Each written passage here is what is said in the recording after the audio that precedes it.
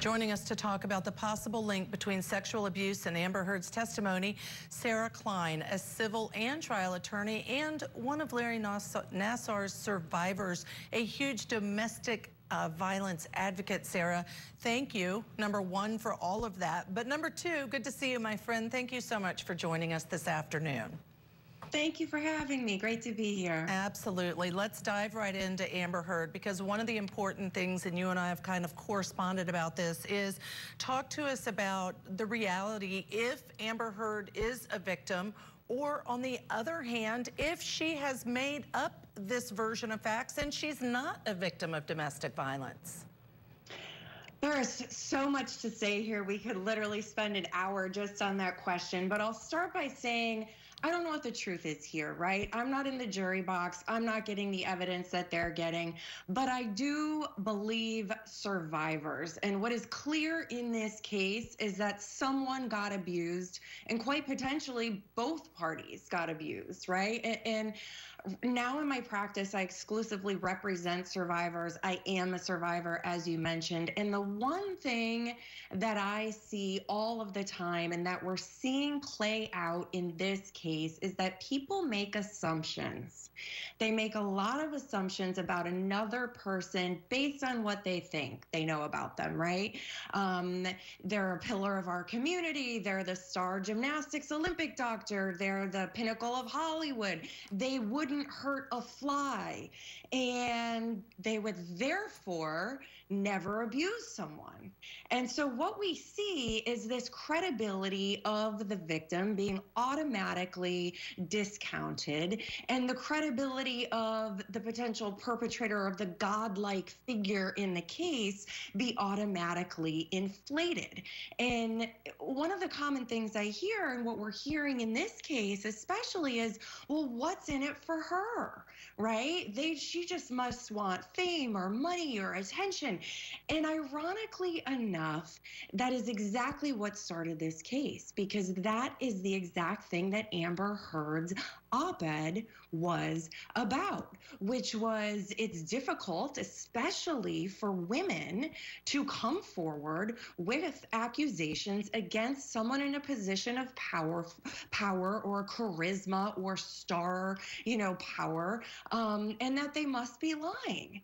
So whether the viewer here is is is deciding, making up their mind that she's lying or telling the truth, one thing I know for sure is that what she wrote about it being difficult for women to come forward with accusations against powerful men is true. And, you know, regardless of what we think, this was a toxic relationship. Someone was abused. And this case, in my view, is doing a tremendous injustice to abuse survivors. And I can definitely talk more about what that looks like if you'd like. I do want you to, but I just want to go back to one of the things you said that is so important. I saw this as in my work, I've seen it as a judge on the bench, and that is disbelief that a certain person can be a victim, disbelief that a certain person, to your point, can be a perpetrator. And I think for me, one of the most important takeaways is Anybody can be a perpetrator. Anybody can be a victim. And you better not ever assume exactly what you said, that someone can't be one of those things. But now, yes, Sarah, I'd like for you to delve a little more into that and tell us how you mean. Yeah, and one thing I'll just add to what you said is when I uh, give speeches across the country on this topic, I say when you walk into your kid's school, ask yourself the question who's the most popular teacher here? Who's the most popular coach? Who's the one that has the, the most access to your child that is beloved? And that's the one as a parent, I advise people to keep your eye on because it often is that good guy predator, the one with the most charm, the most charisma who is the, the pinnacle of the community, the one we all believe would never hurt a fly, who is indeed hurting children, adults, whoever. Um, so I'm a glass half full person when it comes to the effect that, that this is going to have on survivors. So I'm going to start with the bad news. Um, sur- uh, just generally speaking, survivors are always watching. We are always listening. We are watching this stuff play out. We are in the room and we are watching how people respond and whether they are there for us um, Um, or not. And, and what I think this case is doing is showing that there is this tremendous skepticism when it comes to especially women who allege abuse. And this is not news to me as a as a survivor or as a sexual abuse attorney, but Statistically, we know that one in four women or one in six men have been sexually abused in their lifetime. And arguably, I think that's low um, based on the fact that we know survivors don't report because of what we're seeing play out in this exact circus. Um, there are a lot of reasons people don't report.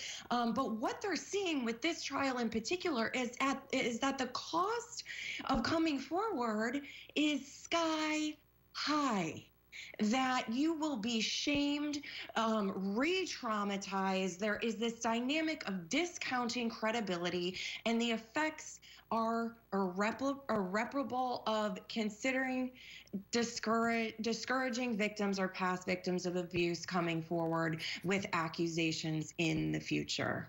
All right, so one out of four women, one out of six men, really important to emphasize. Again, it can be anybody. Really short question. Listening to this evidence, do you have any um, thoughts on who the jury's going to believe at the end of the day? You know, I, I have watched cover court TV coverage, gavel to gavel, all day, every day, hanging on this testimony. And as a trial lawyer myself, I have absolutely no idea where this is going to go. But I will say, I hope the jury gets it right, whatever that outcome may be, because survivors are watching. All right, Sarah Klein, you know I adore you and appreciate so much all of your advocacy. Thank you on behalf of all victims. Now, as we prepare to resume trial on Monday,